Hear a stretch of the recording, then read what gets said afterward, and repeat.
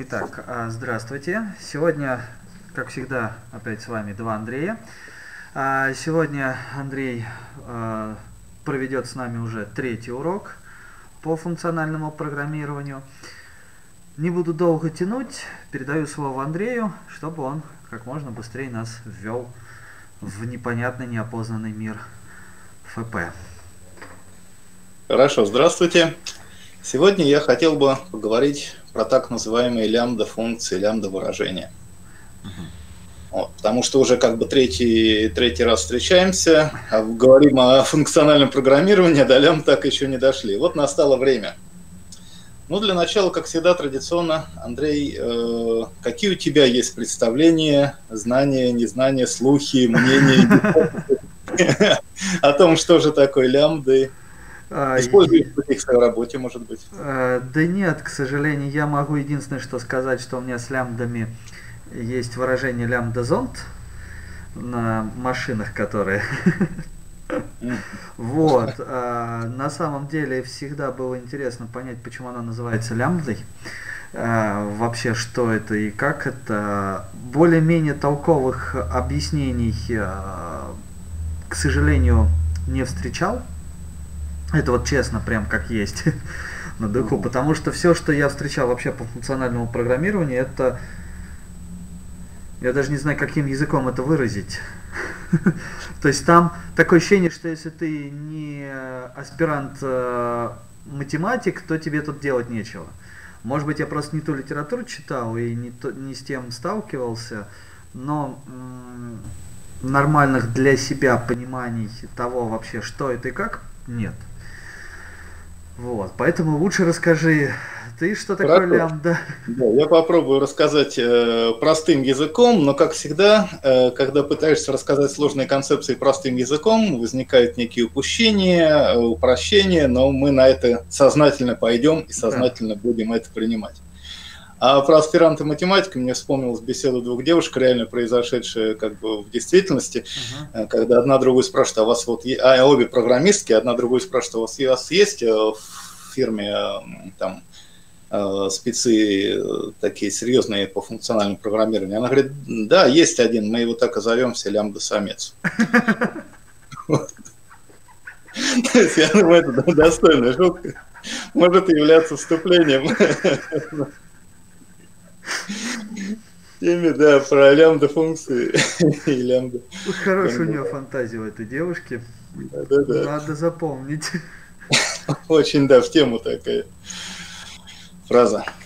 Итак, э, значит, э, с математической точки зрения, лямбда исчисление – это некий математический формализм, который э, в 30-40-х годах прошлого века разрабатывался математиком Алонзо Чорчем, который э, разрабатывал чисто для утилитарных целей э, э, разрешить парадокс Рассела и э, ну, своих чисто других своих внутренних нужд. Угу.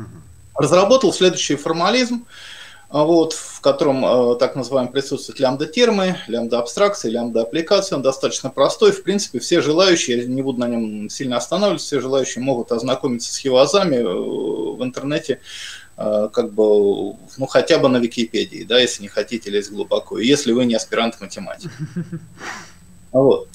Потом э, этот формализм нашел свое применение э, в компьютер-сайенсе, именно с появлением э, языков, в которых э, э, появились некие аналоги этим, этим лямбда-термом, лямбда-выражением в составе языка. Опять же, аналоги не полные, аналоги там с натяжками. Угу. Вот. В некоторых, кстати, более-менее полные, то есть зависит от языка, зависит от семантики.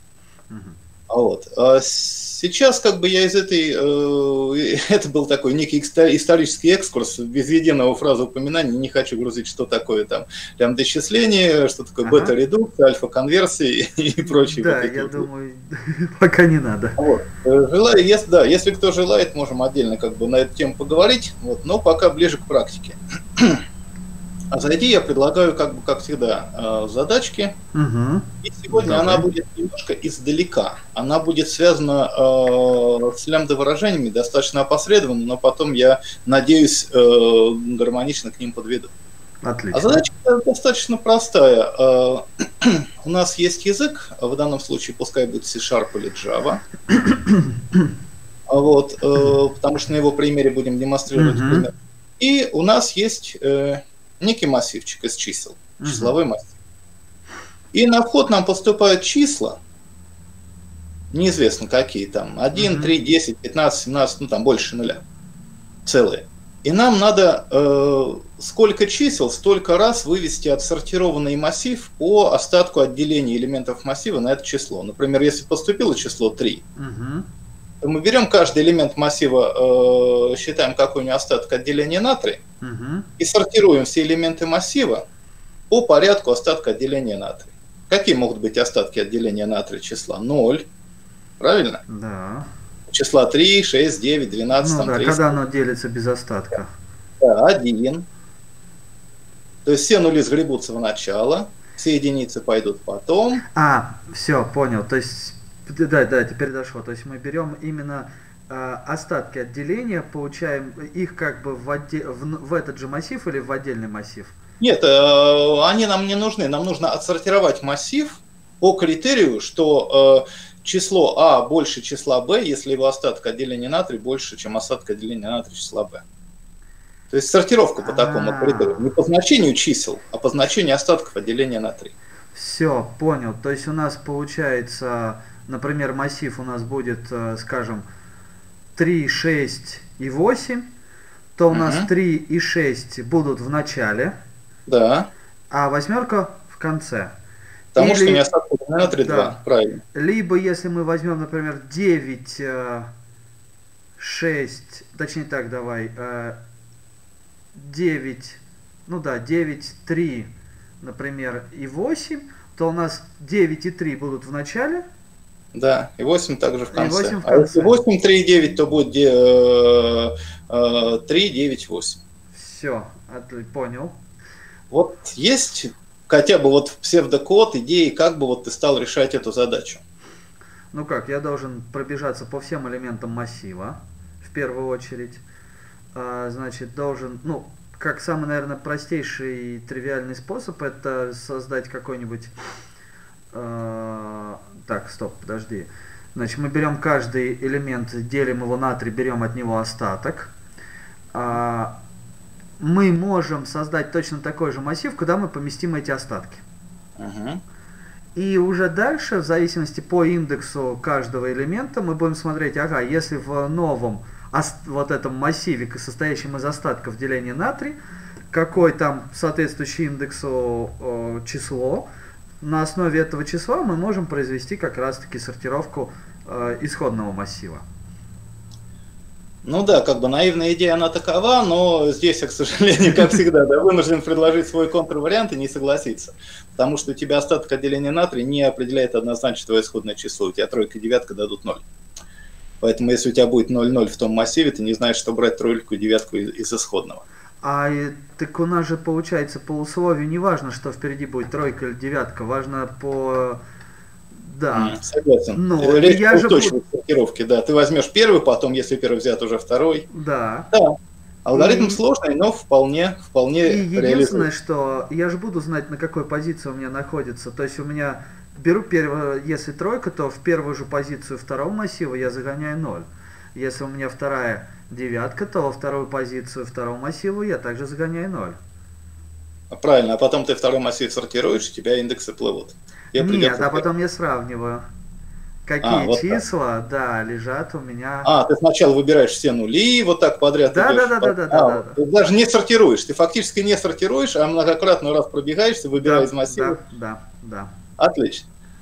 Ну, э, значит, как я предполагал, э, что решал бы эту задачу э, программист на императивном языке. Во многих языках программирования есть функции для работы с коллекциями. Специально утили, uh-huh. в разделе utils, ну, там в той же Java, Java utils, в том же C-Sharp, еще там где-то. Да, есть. А, вот. Среди этих универсальных функций работы с коллекциями есть функция сортировки. Да. Поскольку это очень часто использующаяся функция, вот, она есть, присутствует везде. И хорошо было бы ее использовать, поскольку она оптимизирована, написана умными людьми, оптимальной mm-hmm. библиотеки и использует там очень хорошие и быстрые алгоритмы. Функция сортировки, она использует так называемый, может принимать по умолчанию кастомный компаратор. Что это значит э, на русском языке? Вот если вы вызвали функцию на коллекции без передачи компаратора, угу. то она сортирует элементы массива по возрастанию, как она сама их поймет, если не сравниваются на операции угу. больше или меньше. Угу. Если операции больше, они подлежат, если это числа, скажем так. Да. Или если вы перегрузили операцию больше для работы на данном типе значений, то она все это выстроит хорошо. А если же нет, как, например, сортируются массивы объектов или массивы каких-то сложных там конструкций, у которых, ну, например, нужно массив студентов по возрасту подсортировать или еще как-то, да, стандартный пример. Пишется э, так называемый кастомный компаратор. Э, в языке C это просто функция, э, в Java и C-Sharp это интерфейс, то есть любой объект, э, имплементирующий интерфейс определенный вот, у которого есть функция compare, и она как бы за ее задача сравнить два числа, определить ей на вход, не числа, два объекта. Ей на вход поступает два объекта, она определяет, какой из них больше. Ага, по какому-то своему алгоритму, который мы в нее занесем. Правильно. И вот если это сортировка массива студентов по возрасту, то мы берем э, э, student1.age ну, да. меньше 2.age. Ну, а если это массив... говоря, поля сравниваем, какие нам нужны. Правильно. И вот в этом заключается кастомность компаратора. И здесь как бы э, в своей задачке я подводил, чтобы было очень э, как бы э, очень захотелось бы использовать вот эту стандартную функцию сортировки с кастомным компаратором. Но поскольку э, мы не знаем, какие числа на вход нам поступят, остатки отделения которых mm-hmm. нужно получить, вот здесь возникает некая дилемма. Если бы мы знали, например, нам нужно было отсортировать массив по остаткам отделения на 3, 5 и 10. Угу. Мы бы написали три кастомных компаратора, вот просто в лоб три разных класса, имплементирующих этот интерфейс-компаратор. В одном сравнивали бы два числа остатками по делению на 3, в другом на 5, в третьем на 10. Угу. И использовали бы их. То есть мы бы захардкодили эти вещи. Но поскольку специально по условию задачи я поставил так, что мы не знаем заранее, э, на какие числа нам придется делить и получать остатки отделения, то хорошо бы компаратор написать универсальный. Смотри, как получается. По интерфейсу своему компаратор должен принимать два объекта. Так. Два. Ну, в нашем случае числа, два числа. Но у нас его логика работы зависит от третьего числа. Угу. То самая база, остаток отделения на котором мы сравним вот эти два числа. И в простейшем э, варианте э, итеративного мутабельного программирования это можно реализовать сразу, говорю, что это не оптимальный вариант, но очень как бы подмывает реализовать это следующим образом. Я сейчас переключусь на экранчик угу. и покажу. Так, видно экран? А, да, видно.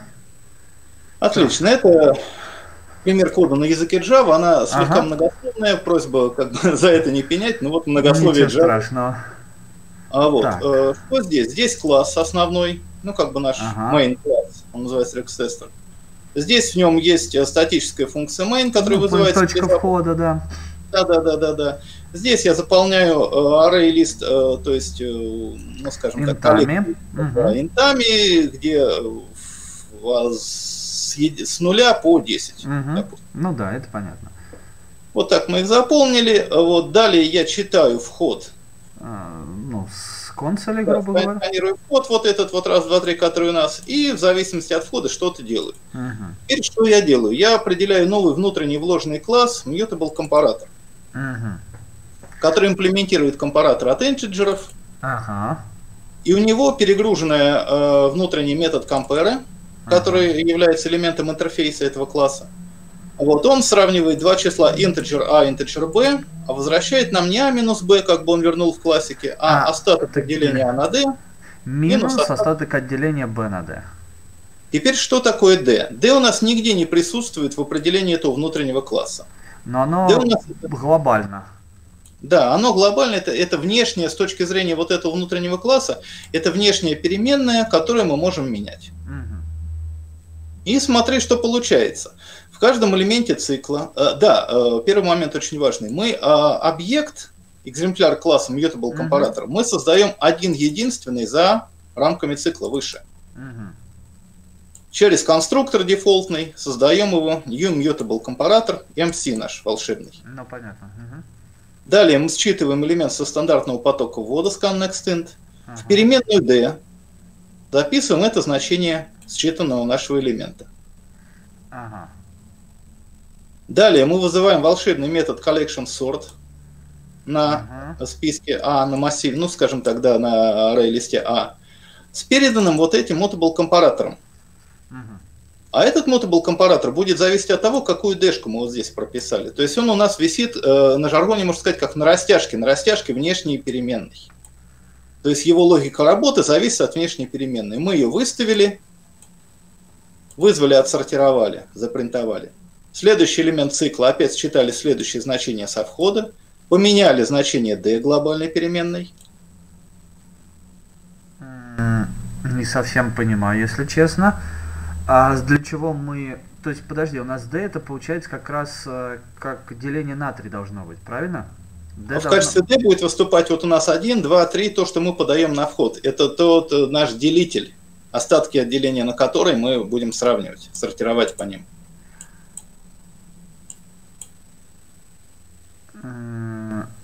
Конкретно вот этот код, он реализует что? У меня на входе числа 1, 2 и 3. Так. Я сортирую массив по остатку отделения на 1, вывожу. Сортирую массив по остатку отделения на 2, вывожу. А. И сортирую массив по остатку деления на 3, вывожу. Все, понял, понял, понял, понял. Я просто думал, что остаток э, деления на 1 делитель только на 3 и все. Ну, тут уже мне непонятно, с чем было связано твое непонимание. Вот. Остатка деления на 1 фактически это всегда будет 0, то есть э, поскольку на 1 делится любое число, да. это значит, что это будет сортированные элементы массива, как они есть. Угу. Но у нас получится выведется на экран 3 э, отсортирован, 3 раза отсортированный массив. 3 раза отсортированный один исходный массив, э, в котором будет порядок, разумеется, разный. Вот. Если по коду понятно, мы можем нажать волшебную кнопочку да. Run. Вот я нажимаю на выполнение угу. и смотрим. Ну, в первой строке у нас сортированный по остатку отделения на 1, то есть этот сам наш... Обычно да. Да. Второй раз по остатку отделения на 2. То есть сначала идут четные числа, у которых остаток отделения на 2 0. Вот они выделены да. 0, 2, 4, 6, 8. А потом пошли нечетные числа, у которых остаток отделения на 2 единицы. 1, 3, 5, 7, 9. Угу. Потом остаток Здесь... отделения уже на 3. Да, вот они, первая четверочка чисел, у которых осадка деления на 3 0. Это 0,0639. Угу. Как он Замечательно. Не 0,369, да, а 0,639. А вот, поскольку никто как бы не обещал устойчивость сортировки, ну, как бы не... Э, а, вот э, я понял почему. Потому что вот эта сортировка э, третьего пункта, она выполнена после сортировки вот этого вот когда у нас пошла шестерка а, сюда. Да, то есть вначале шестерка, а потом тройка. То есть он взял mm-hmm. верхний, а, ну, да. второй. Отсортировал его по остатку деления на 3. Да, все, теперь да, понял. А вот. То есть здесь у нас остатка деления на 3 нолик. В первых четырех числах тут единица, 4, 1 и 7 это три числа, у которых остатка деления на 3 единицы. Угу. И 2, 5, 2, 8, 5 завершает нам этот списочек. Угу. Вот. И того, как видим, все работает. Если мы, например, сюда добавим еще 4 остатка деления на 4, посмотрим. То же самое 0, 4, 8 пойдут вперед. Ну, потом да. единица 9, 1, 5, потом двойка 6, 2, и потом тройка 3, 7. Угу.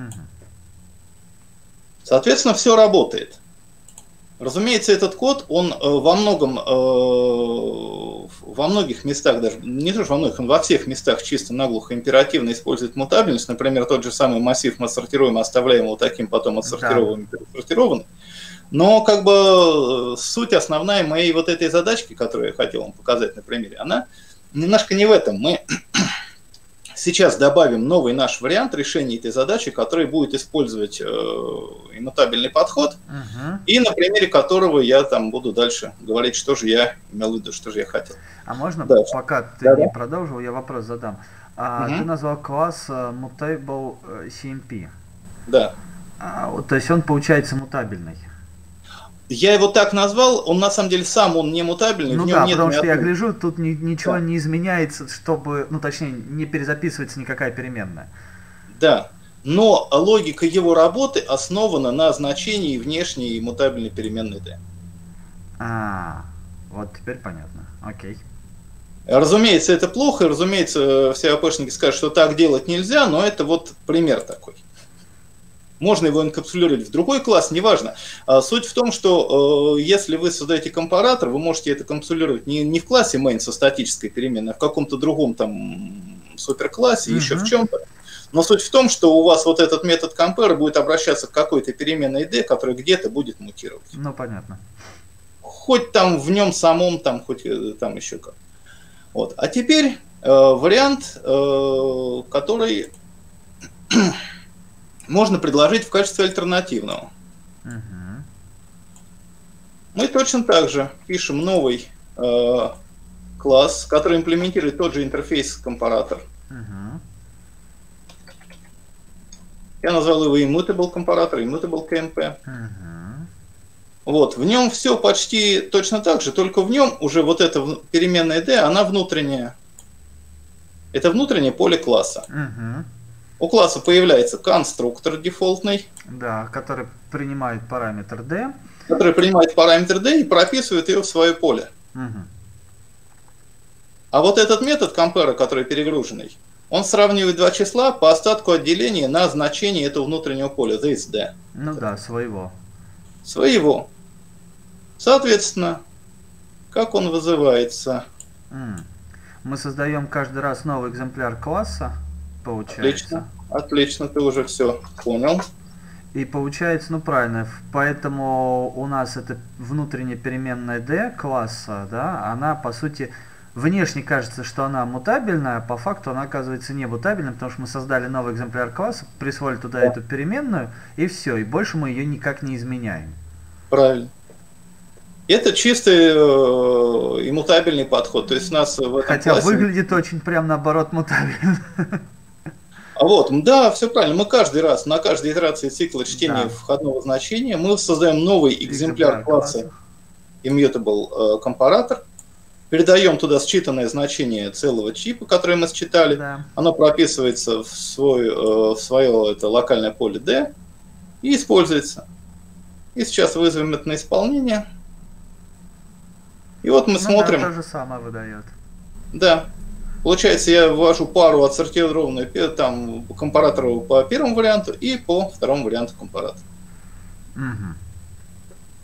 А вот интересно, получается, как раз и мутабельная сортировка повторяет то же, что была введена мутабельной. То есть она по факту... Смотри, а, как... комментарий. Не, не, не, не, не, нет, я не про это. Я имел в виду, сначала у тебя выполняется сортировка mm-hmm. мутабельная, которая, так? С компаратором мутабельным. А потом ты выполняешь опять же сортировку этого массива с немутабельным, но угу. при этом у тебя а, массив А, он не изменяется как бы. Потому что он у меня уже здесь отсортирован, ты прав. Э, здесь я сортирую вот э, для получения нижнего строки, я сортирую предпоследнюю строчку, да. которая так и есть. А. Ну, мы вот это вот за комментарием сейчас. Угу.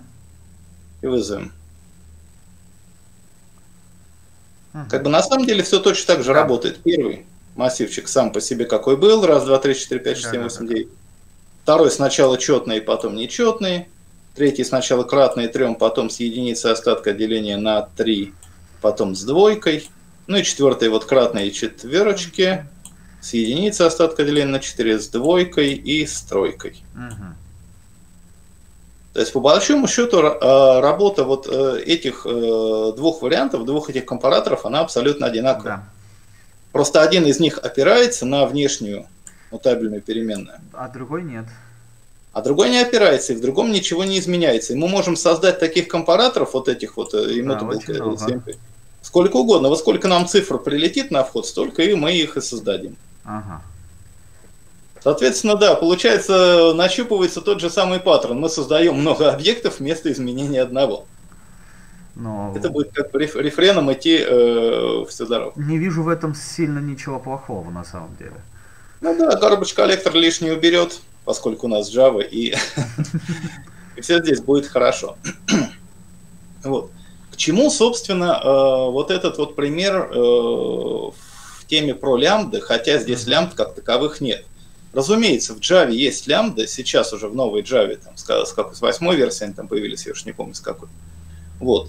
Но раньше в Java не было э, лямбд, и э, их э, как бы э, те, те необходимости, для которых используются лямбды в функциональных языках программирования, uh-huh. они в Java отлично покрываются интерфейсами и вот такими вот классами uh-huh. immutable, вида второго immutable компаратор, который нас имплементирует какой-то интерфейс.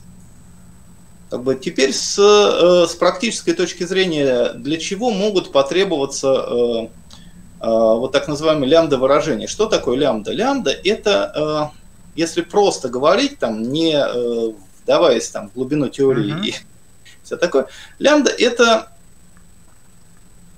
ну, это функция как значение. Вот у нас э, переменные языка могут иметь значение определенных типов. Uh-huh. Вот, например, и вот здесь d у нас будет равно 1, 2, ага. 3, 4. Целочисленное значение. Ага. Вот. Э, и поначалу э, людям, которые не сталкивались с лямбдами, программистам, которые программировали на императивных языках, ага. вот, им достаточно э, сложно понять, как в какой-то переменной с каким-то символом, да, с какой-то переменной может быть связано значение, которое может вычисляться, которое может являться функцией. А вот некое промежуточное представление в виде объекта, uh-huh. в той же Java есть интерфейсы callable, runnable, то есть это те объекты, исполнение которых можно вызывать. Uh-huh. Вот. Э, если мы заведем некий объект, например, в Java, в, у него будет э, функция, ну пускай э, call, uh-huh. и какие-то два аргумента, неважно какие, любые количество аргументов любых типов. Будут свои внутренние uh-huh. поля, мы можем сколько угодно, да, на эти внутренние поля будет ссылаться тело вот этой внутренней функции call. Uh-huh. Мы можем сколько угодно таких объектов создавать и вызывать их потом. И значение этой функции call будет э, различное в зависимости от того, какие значения внутренних полей мы передали в конструктор при создании очередного объекта. Uh-huh. И это, в принципе, э, объектно-ориентированный аналог э, лямбда выражения функциональных языках.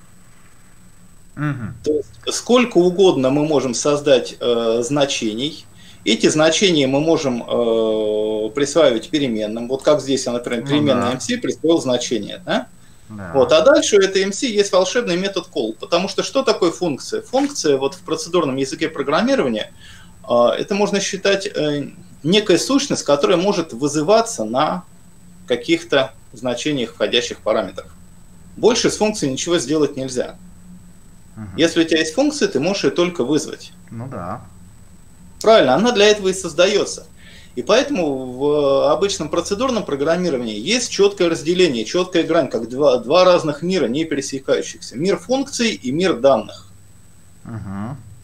И программисты прини, как бы, принимают как данность такую парадигму, что данные эти некие, э, если позволить аналогии, существительные, uh вот, которые что-то из себя представляют, что-то являют, да, содержат какую-то информацию. Да. А функции это некие глаголы, которые их преобразуют, ну, которые да, абстрагируют некое действие над ним. Вот, то есть это как бы два разных мира.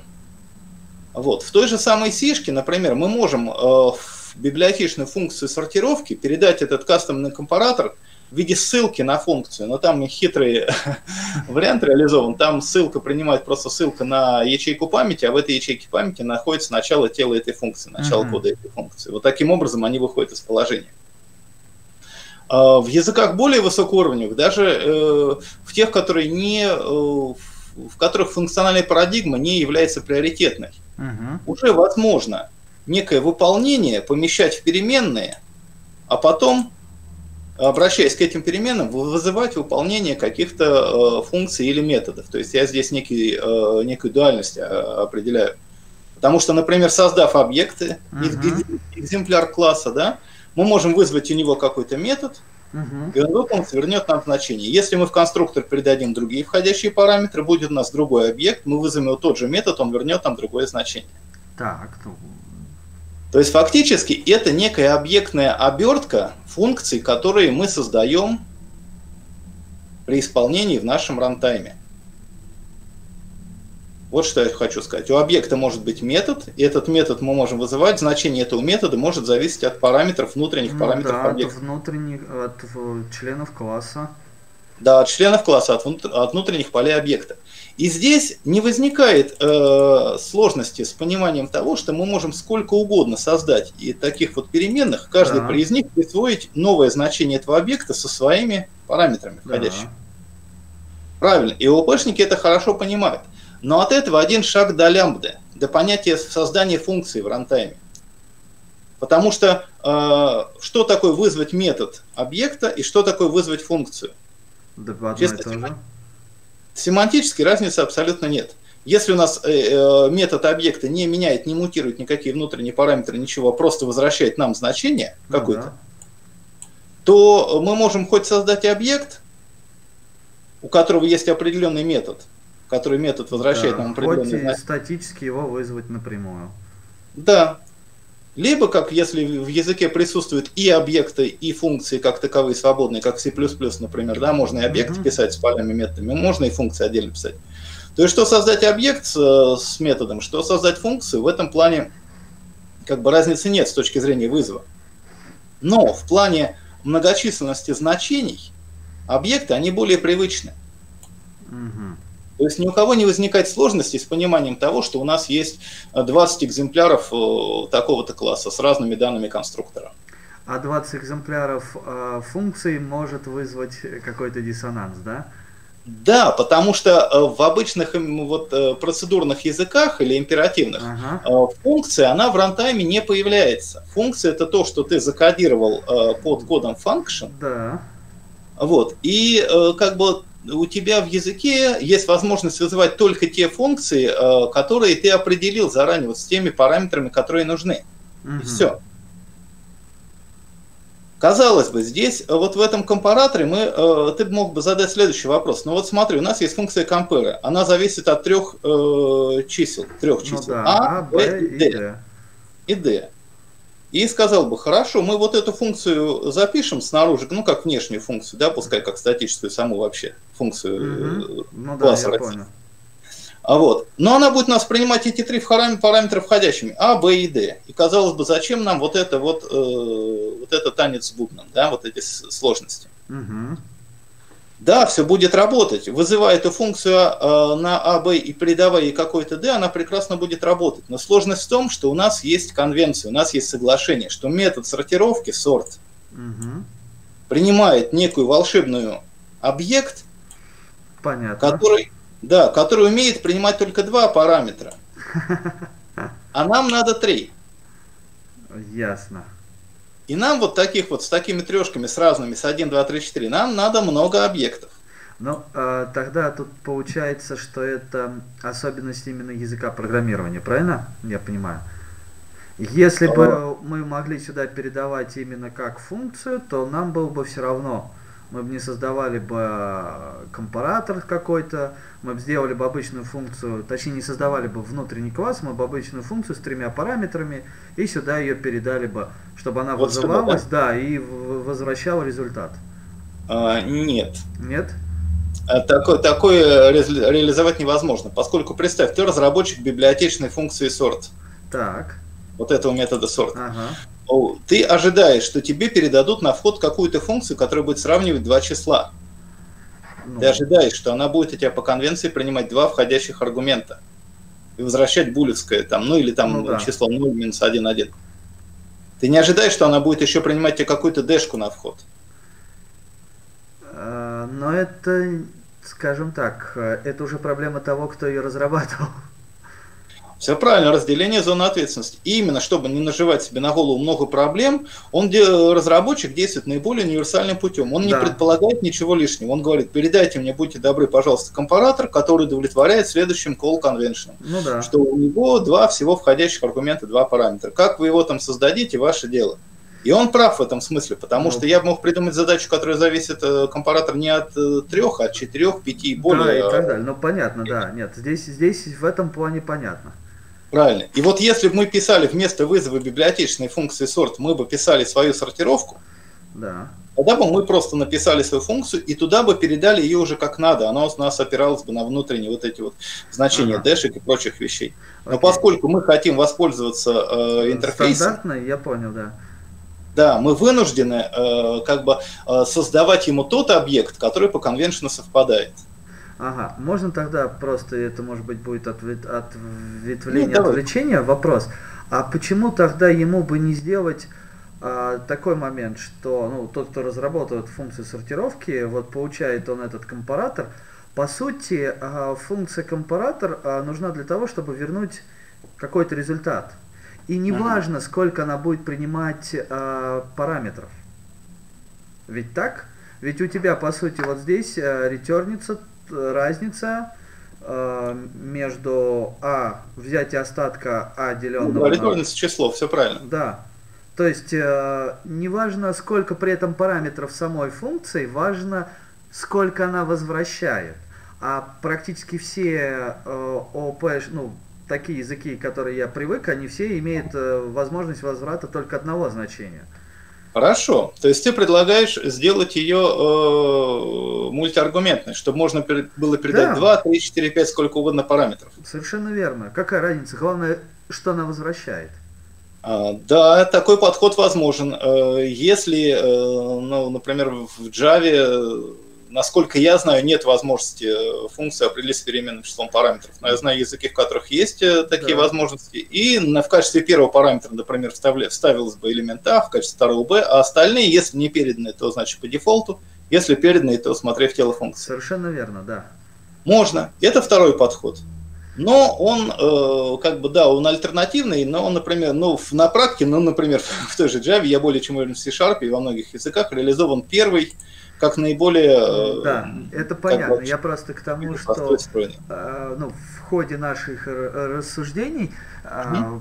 эта идея как бы родилась сама собой. Либо, может быть, пойти другим путем, как тот же позволяет C, C++, передавать указатель на функцию, которая выполнится и вернет результат. А там уже не важно, сколько в ней параметров.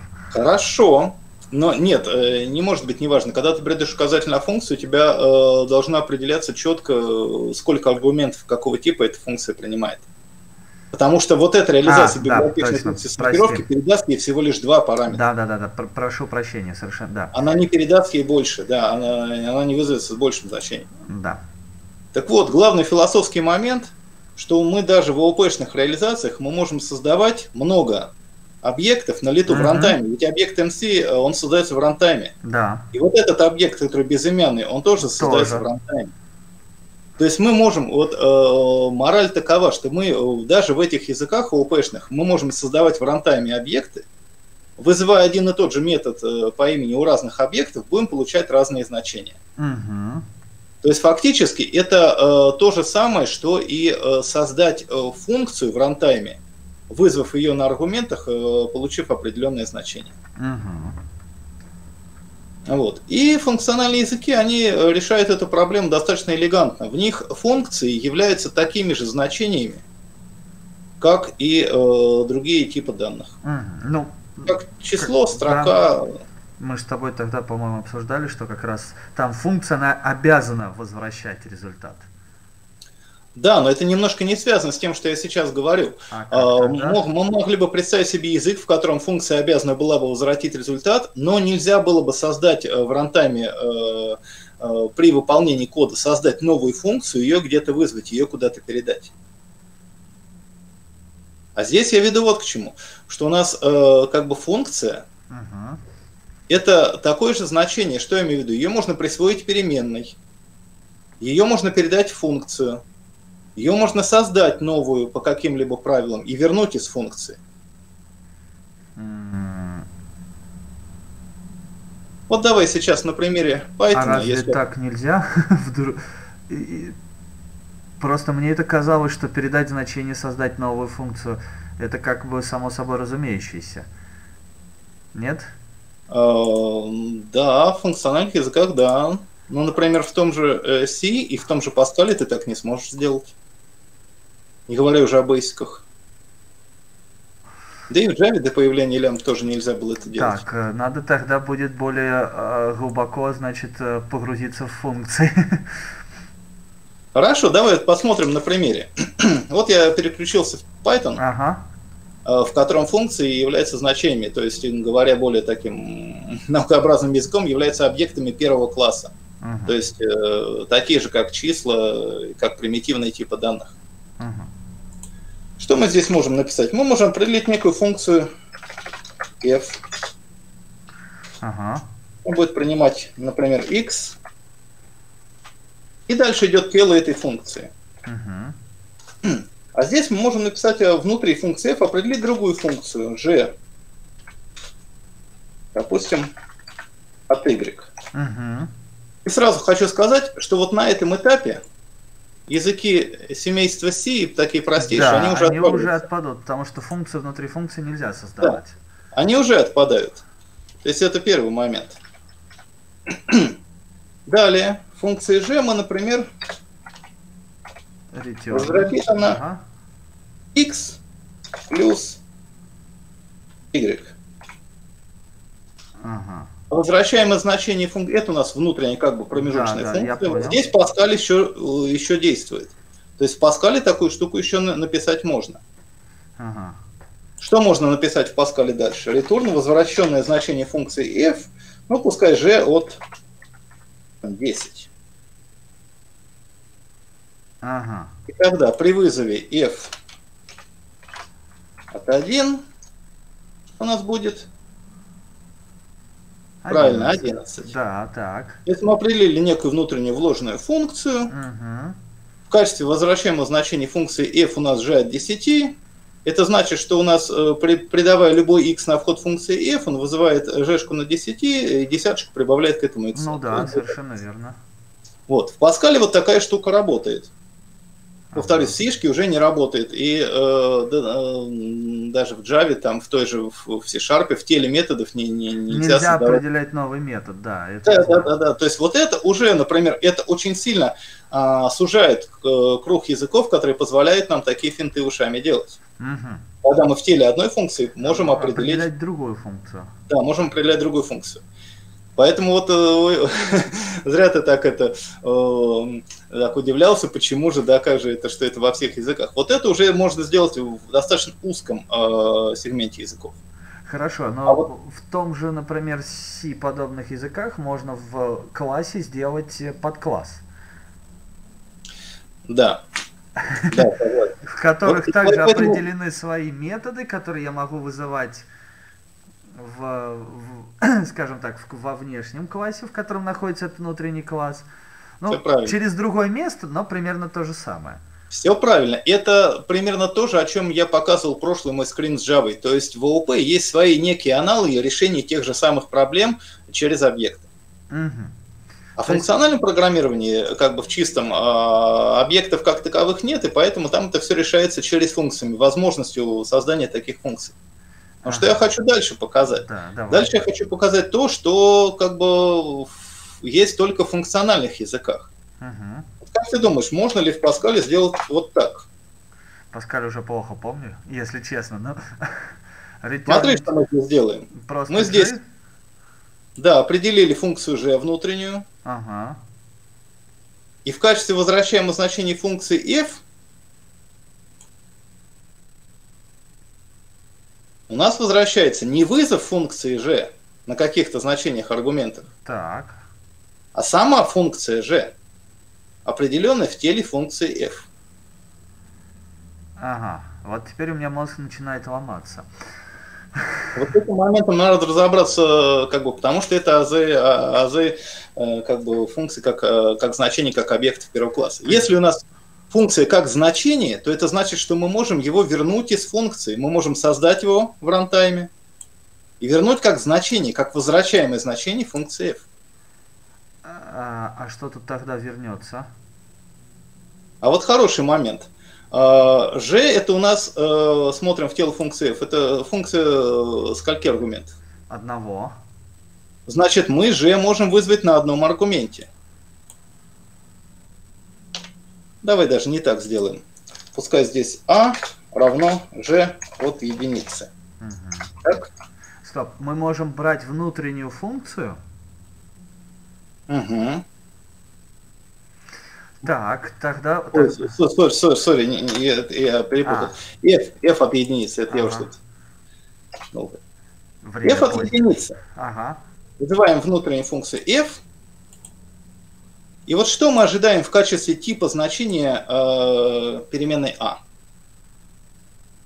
Да вот у меня на самом деле получается какой-то... Э, то есть если я хочу вернуть э, по, по ходу тому, что находится в функции f, да, то есть там определена другая функция g, mm-hmm. которая mm-hmm. от другого аргумента определена, mm-hmm. и возвращаю просто функцию g. Да. То есть получается я в а должен буду каким-то образом вернуть функцию, но а, тогда у меня в голове не укладывается, что значит вернуть функцию. По идее я должен вернуть значение. Правильно. Вот это вот то, что я очень удивился, когда ты вначале так очень браво сказал, что я же не понимаю, везде так можно, это все понятно. А вот сейчас в голове не укладывается. Мы должны вернуть значение. Вот ты сейчас произнес фразу, что значит вернуть функцию, мы должны вернуть значение. Или а теперь... получается у меня в переменной а будет лежать функция g? Да. Потому что функция это тоже значение. То есть теперь, это... если я, например, дальше напишу print, то есть я могу написать а и в скобочках от 5? Да.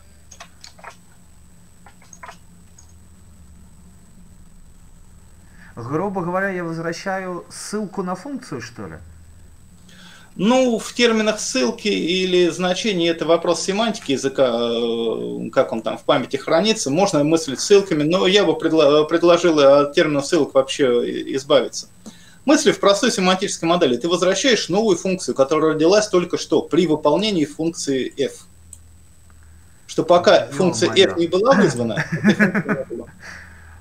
а. Так, это прям даже как-то интересно становится. То есть, в принципе, я, ну, по сути, я сделал а функцией через да. другую функцию. Да. Получается, что у тебя f в терминах Явы это фабрика э, callable объектов. Это фабрика функций. Ага, который может возвращать в зависимости от чего-то какую-то любую другую В зависимости функцию. от своего аргумента f возвращает разные функции. Ага. То есть вот f от единицы это инкрементатор. Вызов f от единицы возвратит функцию, которая увеличит на единицу свой аргумент возвратит функцию, которая решит на единицу свой аргумент. Обалдеть. Это фабрика функций, это фабрика функций, которые что-то плюсанут к аргументу. Угу. Но по факту мы можем э, даже не, то есть, э, подожди, смотри, в, в нашей def э, функции elf мы могли написать, например, if, да, в зависимости от того, что там было бы. Если единица, то. А, перед этим мы могли определить, например, три разных функции там G какой-нибудь там G1, G2, G3. В зависимости от того, какой у нас аргумент x, мы возвращали бы разные функции. Конечно. G1, G2, G3.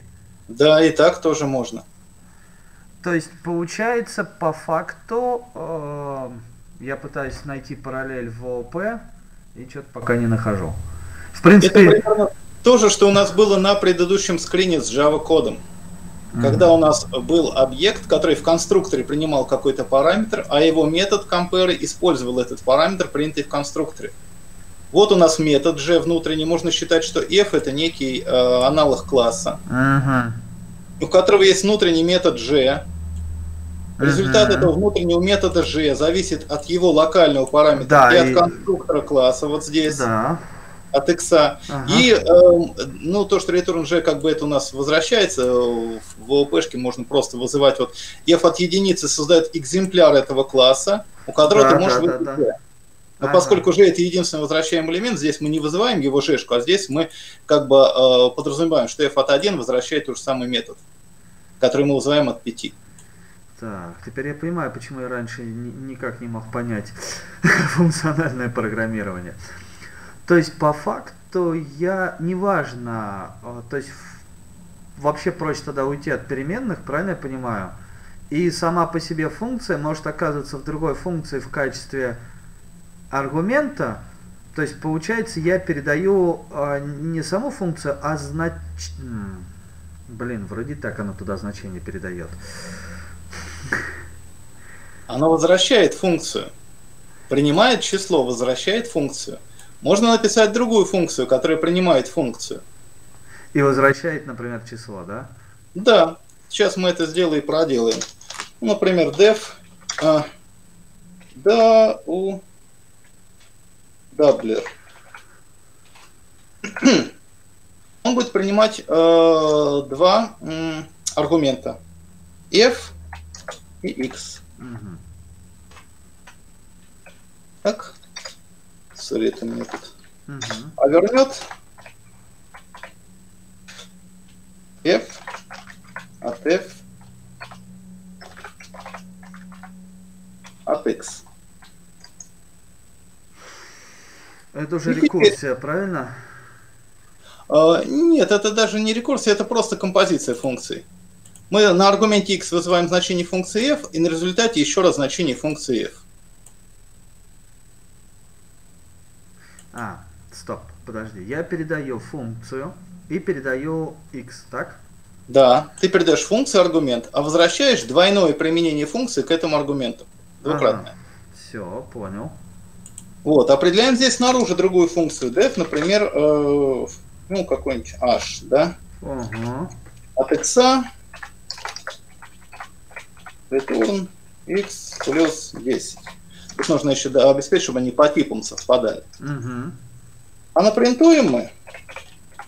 Даблер h да. от, э, например, какого-то, ну, что там, не знаю, 20, скажем. Правильно, да. От h, ну, давай там 20 твои, да.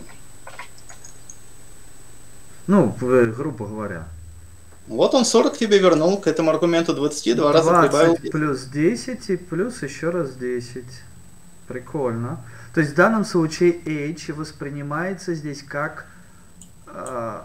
Функциональный входящий параметр функции Даблер. Блин. Ну... Вот эти два примера но первый из них, с моей точки зрения, он, он посложнее, поскольку вот этот пример можно и в сишке реализовать. Да, я поэтому и думаю, вот, вот, вот так для меня все логично и привычно. Да, ты более простой примерчик привел, который э, как бы во многих языках он реализуется, и, и то там не часто любят передавать ссылки указатели на функции, но как бы это еще более-менее понятно что у тебя функция h определена снаружи, и ты ссылку на нее передаешь функцию где-то, где она вызывается с двадцаткой два раза. А, подожди, можно такой дурацкий вопрос? Mm? А делегаты, и они же по сути примерно так же, то есть то, что функции, ну, которые позднего вызова, callback, нет разве? Э, вполне, вполне возможно. То есть они также придаются по ссылке, да. да. То есть, в этом То есть я сначала определяю, что когда-то что-то будущее будет использоваться, а потом просто говорю, какая функция должна туда передаваться uh-huh. и вызываться, а параметры там уже заранее были определены, которые в эту функцию потом передадутся. Да. Но здесь я бы вот все-таки, я же начал с вот этого примера, так, ага. который более тебе э, не знаком. Да. И вот здесь я бы акцентировал внимание не на рассмотрении вот этого простейшего варианта, да, а на рассмотрении ага, вот хорошо. этого. То есть, помнишь, я говорил, что как только мы уже написали здесь dev, да. мы сразу резко сузили э, как бы диапазон языков, который позволит нам такие финты, что внутри да, одной да, функции да, да, да. другую. А когда мы написали здесь return вот этой жешки как функции, мы еще более сузили мы диапазон языков, сузили, да. которые можно, э, в которых можно это делать. И вот здесь э, как бы еще одна черта функциональных языков программирования, они обязаны уметь позволять делать вот такие вещи. Ага. Если язык претендует на звание функционального языка программирования, то он должен э, как бы позволять делать такие штуки. Он должен позволять на лету создавать функции и их возвращать как значение. То есть здесь именно и проявляется, в десятый раз скажу ту самую фразу, которую я сегодня говорил, что функции в функциональном программировании – это значения это такие же значения, как значения любых других примитивных типов. Это значит, что их можно как передавать в качестве входящих аргументов в другие функции, ага. так и возвращать в качестве результатов выполнения других функций. Ага. Так, а лямбда здесь при чем? Вот. И только теперь мы добрались до того, что так называемый э, термин лямбда. А лямбда, поскольку функция это значение, ну вот, например, э, давай по аналогии со строками. Строка это тоже значение, да? Да. И есть некий э, способ записи строк в виде литералов. Ну, например, b равно раз, два, три. Угу. Что такое вот здесь? Кавычки открываются 1, 2, 3. Это некий литерал, по, по которому э, компилятор при считывании понимает, что мы хотим сконструировать значение. Типу этого значения будет строка. Угу. И прописать это значение в переменную b. Так, Так? да. Но, а если мы напишем здесь вот так вот 1, 2, 3 просто, То это то компилятор поймет, что 1, 2, 3, вот цифры без э, там префикса, или там, допустим, э, в этой семантике научной, вот это Е10, да, Да. единственный, десятый. Это некие эм, конвенции, по которым компилятор понимает, что здесь э, записано значение типа число. Угу.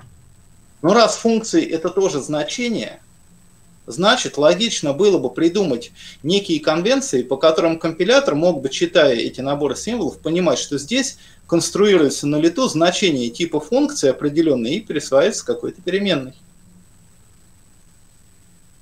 И вот в этом у нас выступает лямбда, так называемые анонимные функции. То есть это функции, вот выше, вот э, если ты заметил, мы везде генерировали функции с помощью э, волшебного слова def. Да, да, да, да. В разных языках это функ, function, Ну, там, неважно, да. как угодно. То есть есть некий волшебный синтаксис, который позволяет эту функцию как-то родить, сконструировать. Ага. Но везде рождается функция, обязательно э, по конвенции нужно указать ее имя. Эту функцию зовут f, эту функцию зовут g. Ага. Но поскольку функция это значение, значит мы можем написать Функцию Некую, без э, выра- имени. выражение некое b равно. Справа э, написать некий набор символов, которые создадут нам функцию, Угу. исполнить значение к b. Пример. b равно лямбда от x, допустим, x плюс 100.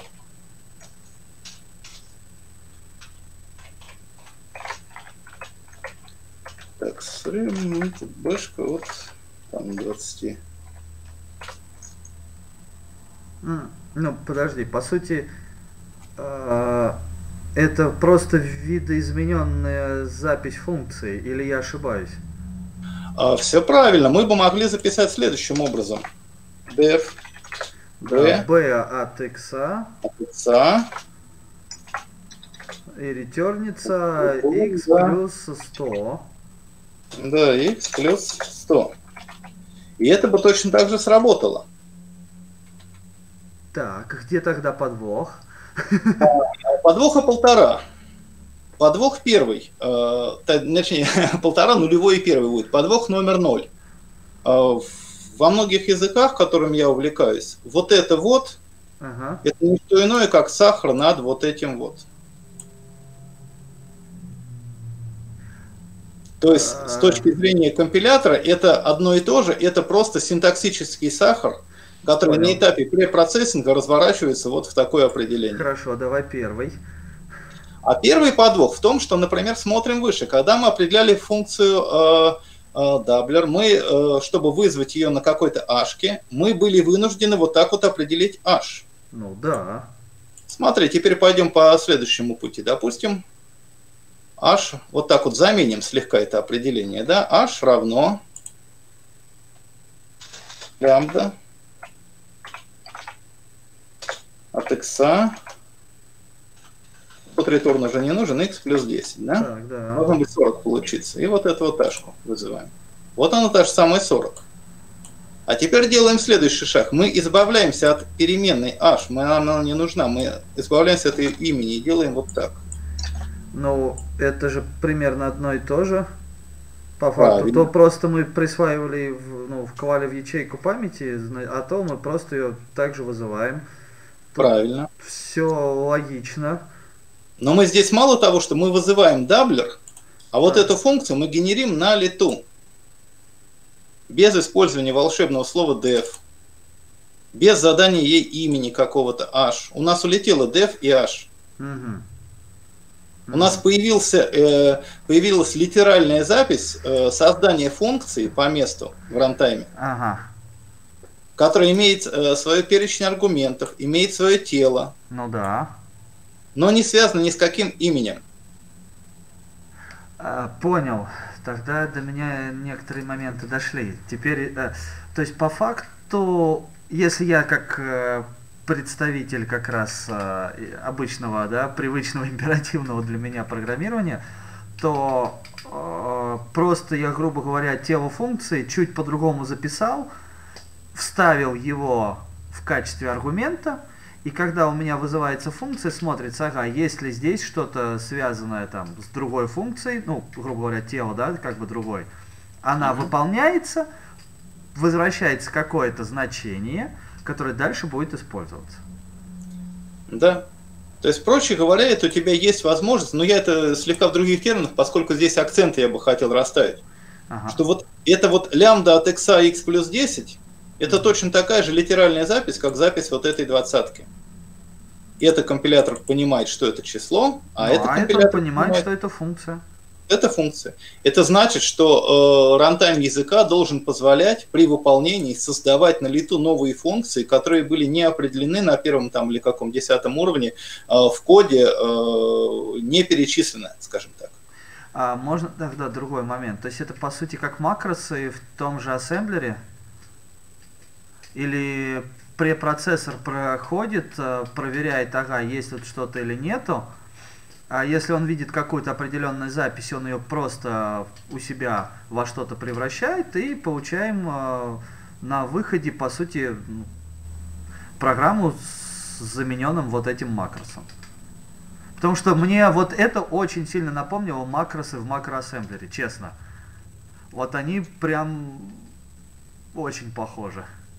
Ну да, здесь пока не готов сказать, э, твоей аналогии до конца, может быть, не это самое, не до глубины не понимаю, но вполне возможно. То есть э, здесь у нас фактически, еще раз повторюсь, э, у нас создается именно лямбда как тип языка. То есть Ну, у языка семантика дол- должен поддерживать функции. В ассемблере там у нас просто вообще бестипизированный язык, там все проще сделано. Да, да, да. Вот, там как бы этих ограничений нет. Нет, я имею в виду, что когда проходит любой транслятор, и он видит э, вот эту вот запись лямбда x э, двоеточие да, x плюс 10, ну или что-то подобное, он понимает, что он должен создать новую функцию в момент как раз Да. выполнения программы. и Да, он ее да. создает, и потом тут же к ней обращается, потому что дальше идет Да. использование э, этой же самой вновь созданной функции с э, каким-то Вот, или аргументом. да, вот здесь. Все правильно. Я здесь на примере своего интерпретатора, я несколько интерпретаторов лиспов написал, как ты знаешь. Вот. Мгм. И э, как бы все мои интерпретаторы, они э, по одному и тому же принципу работают. Э, Интерпретатор понимает, он умеет создавать в рантайме функции и умеет читать их в определенные выражения. Если он прочел вот такое выражение, он знает, что нужно создать объект вида функции, Короче, запомнить его где-то и потом вызывать. Ясно. Для себя я понял одно, что многие моменты я знаю, но не знаю, как они называются правильно. Ну, это вопрос терминологии, не страшно. Главное понять вот этот момент.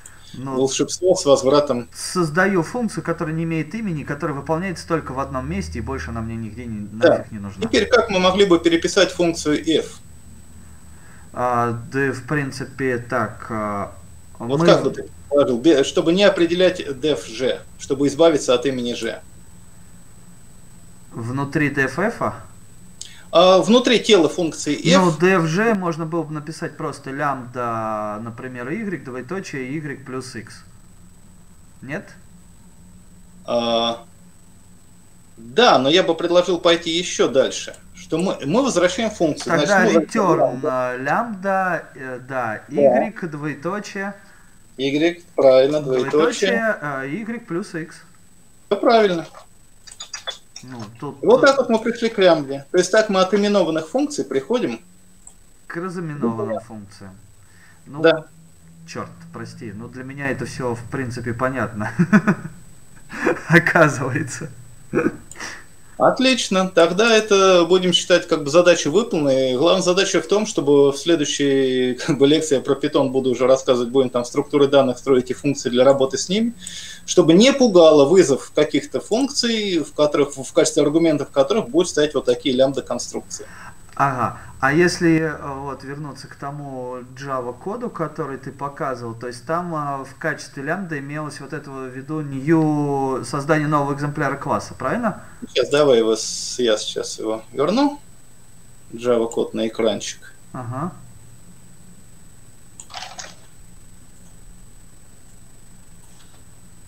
Так, тут, наверное, если я перевыберу Java, он там все не перезатрет. Да, перезатер. Ну, можно вставить. Uh-huh. То есть вот здесь uh, new uh, immutable compare от этого uh-huh. это по сути та же самая, uh, ну правильно, это использование. Ну да, мы создаем экземпляр класса без uh, создания его имени. Да. Это и есть та же лямбда. Да, это ну, с натяжкой можно Но сказать, аналог, это аналог лямбда функции, да. Потому что метод сорт принимает у нас некий э, да. объект, который должен удовлетворять определенному интерфейсу. Этот объект можем создать на лету прямо тут же, не связываясь с именем. Да, Главное, потому что этот объект статический.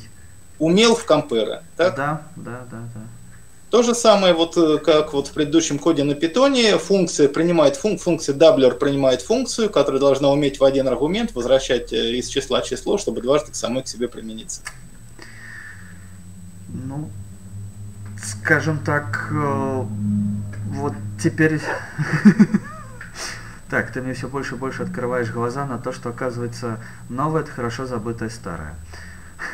Я почему и начал с этого примера на Java, чтобы э, людям знакомым с ОП э, провести параллели. Теперь с, я понял. Да, с тем, что лямбда это не что-то такое прям совсем какое-то новое, страшное, Но... что в ОП есть аналоги этого. По крайней мере, то, что я читал, объясняет это через одно место, через которое это... Ну, скажем так, они объясняют это правильно, они объясняют неправильно и криво. Ладно, с неправильно и криво объясняет, и хотя бы э, помог понять, э, что это. То есть, в принципе, теперь это гораздо понятнее. То есть, теперь я аноним, ну, функция, которая не имеет имени, или тот же новый экземпляр класса, который без создания э, без привязки его к какому-то имени. То есть просто, просто он в памяти да, мотыляется и все. Вся разница в том, что у, экземпляра класса ты можешь наплодить сколько угодно методов да. публичных, да, и вызывать их, например, вот этот MC у тебя может вызываться один метод, другой, третий, пятый, десятый и так далее. Да, да. А лямбда это некое ограничение, это объект с единственным методом call, да. и этот call вызывается не через точку call, а просто по открытию. А просто сразу, да по открытию скобки. Это и есть э, синтаксис э, вызова единственного метода лямбды. Ну окей. Да. Более того, скажу, в Java и э, в Sharp есть реализованные лямбды. Угу. Вот эти те же самые лямбда-конструкции, стоим с тем же самым словом лямбда на создание анонимных функций. Вот, но за кадром они представляют собой именно вот такие вот классы. It. Буду знать. Вот, то есть это, но это уже, понимаешь, это уже момент реализации. Мы ну сейчас да. говорим о, о семантике, о да. Семантике. Когда, когда э, реализация на реализацию э, как бы не э, не релается, да, скажем так, не. Ну, не... нам не важно обращать внимание на то, как это внутри языка реализовано. Нам важно понять принцип, как это работает. Да. И как это То использовать. Функциональное программирование, оно целиком и полностью построено э, на использовании функций во всяких разных ипостасях. И, разумеется, в этом плане там максимальная свобода, э, то, о чем я говорил, да, где-то у нас э, может что-то сишка, что-то может только э, там Pascal уже сишка не может, mm-hmm. что-то может только там Python, JavaScript, кстати, как Python тоже все это умеет делать. И функциональные языки программирования. Создавать новые функции на лету, возвращать функции из функций. Для чего? Чтобы использовать их вот в таких вот э, Э, библиотечных функциях, которые принимают другие функции. Ну, Фактически да. сорт это аналог нашего даблера, который принимает функции с определенным call да, Да, совершенно верно, так и есть. И в следующий раз мы будем создавать, э, как бы уже опережая мы будем писать новые структуры данных, как бы реализовывать односвязанный список на Python. Ага. И писать библиотечные функции для работы с ним. И вот эти наши библиотечные функции будут вовсю использовать в качестве аргументов другие функции преобразования. Ага. И мы будем туда передавать и лямбды в том числе. И чтобы не было вопросов с этим. Сегодня, сегодня мы изучали лямбды да, столько долго времени как бы жевал. Ну, не то, что изучали лямбды, сегодня мы так на практике слегка их пощупали, познакомились, как их можно пожевать, что можно такого аналогичного найти в более привычном мире. А так, разумеется, я бы все-таки рекомендовал э, как бы слегка познакомиться с лямбда-исчислением. Это достаточно простая тема, она несложная. Попробую. Вот. Семантика, постановочная модель, правила редукции. Вот. И, то есть это э, как бы это формализм, где ничего кроме лямбд нет угу. где все сделано, где все построено на лямбдах. Давай, наверное, тогда сейчас. Да. Хорошо. Вот, заключение несколько слов. Все построено на лямбдах, э, и э, теоретически доказана его Тьюринг полнота, его mm-hmm. эквивалент э, Тьюринг исчисления. То есть, как бы в терминах лямбда исчисления, в рамках лямбда исчисления, mm-hmm. Можно реализовать любой алгоритм, который можно реализовать на Тьюринг машине. То есть любой язык, э, который в себе содержит, имплементирует хотя бы э, в своей части полностью имплементирует лямбда-исчисление, он будет являться Тьюринг полным. А все функциональные языки, они таковы. Они такие есть. Ну, да. в принципе, тут и так логически, ну, в моем мировоззрении не так понятно, если я могу... В, в, в, зачем мне присваивать функции, результату функции какое-то имя, когда я могу просто его воткнуть в другую функцию и там дальше его использовать? Да. То же самое, как, э, как, например, промежуточные переменные, которые тебе не нужны. Ну, вот я про что и говорю, да. Зачем они мне нужны, когда я могу обойтись смело без них, а просто сразу указать. Да, и вот для этого придумали литерал. А почему слово лямбда? Э, потому что вот Алонзо Чорч, когда все это дело писал, разрабатывал, ага. он придумал некий специальный символ для обозначения таких вот э, конструкций преобразований, вот, и писал своим почерком, и когда сдал этот, э, свои рукописи в типографию для того, ага. чтобы отпечатать в результат типографии, долго не могли подобрать э, символ, который бы наиболее подходил для того, чтобы это дело обозначить хоть как-то. И э, он им показался похожим на лямбду, и они его из греческого алфавита в своем типографском наборе взяли букву лямбда, и вот так вот исторически сложилось. То есть тут нет какого-то глубинного смысла термина или подвоха. То есть это некая анонимная функция от определенных аргументов, которая с ними что-то делает, возвращает преобразованные значения этих аргументов. Ясно. А в компьютерных языках это литерал для конструирования функций без того, чтобы написать function f равно там или что-то еще. Понятно. Ну, Отлично. Вот. Хорошо, буду ждать тогда следующего занятия. Посмотрим, что мы там сможем. Что ты напишешь и что из этого я смогу понять.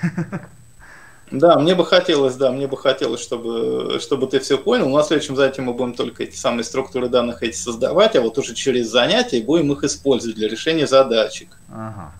Вот там уже будут, с моей точки зрения, ну, такие более интересные штучки. Хорошо.